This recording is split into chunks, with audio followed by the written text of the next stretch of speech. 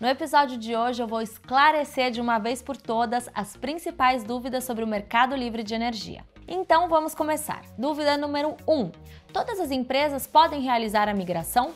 A resposta é, por enquanto, não. Normalmente, as companhias que possuem conta de luz mensal acima de 50 mil reais atendem aos pré-requisitos que o mercado exige. São eles estar conectado em média ou alta tensão e ter demanda contratada de 500 kW ou mais. Para as empresas que ainda não são elegíveis, fiquem ligados. A partir de 2024, todas as empresas conectadas em média ou alta tensão poderão migrar sem mínimo de demanda. Pergunta número 2. Como fica a relação com a distribuidora? Atualmente, as empresas têm dois contratos com a distribuidora: o contrato de compra de energia regulada e o contrato de uso do sistema de distribuição.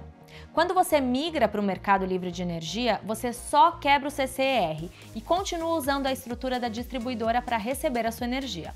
Portanto, a sua relação com a distribuidora continua a mesma, mas o seu fornecedor de energia muda. Dúvida 3.